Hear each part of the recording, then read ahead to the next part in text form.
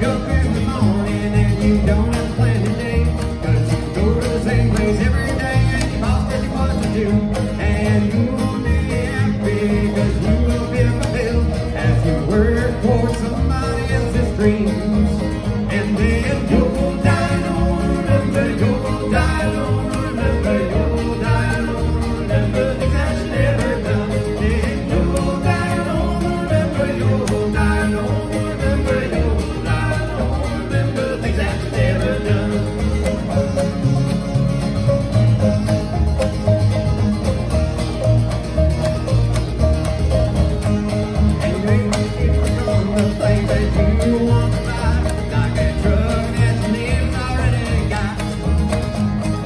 You'll have children too, and you'll teach them ways of time.